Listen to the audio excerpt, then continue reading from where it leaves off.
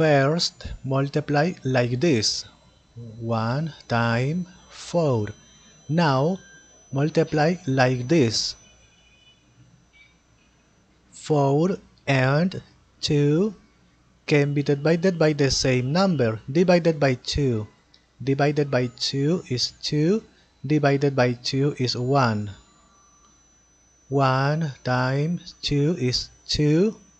1 times 3 is 3. Answer